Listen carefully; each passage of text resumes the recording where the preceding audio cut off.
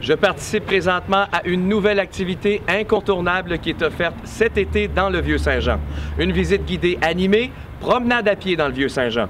Une balade sympathique et instructive dans un quartier historique. Ma cheminée peut attendre, hein, je, je la faire visiter, moi, la ville. Il faut, faut dire que je suis bien placé pour le faire. Hein. Euh, du haut des toits, nous autres, on, on voit toute la ville, les ramoneurs. Hein. Je connais le vieux village par cœur. Ce parcours pédestre habité de personnages vous fera voir autrement les sites du premier chemin de fer canadien et du Fort Saint-Jean, ainsi que le canal de Chambly, la place du marché et bien d'autres. En fait, cette visite vous permettra d'en connaître plus sur la ville de Saint-Jean-sur-Richelieu et son histoire. Tout le long du circuit, le guide animateur raconte avec humour, anecdotes historiques et légendes captivantes sur les lieux croisés et les personnages importants ayant marqué leur époque. Ben, si j'ai pas mon beau Raymond Ramoneur! T'es pas souvent à la du marché, là?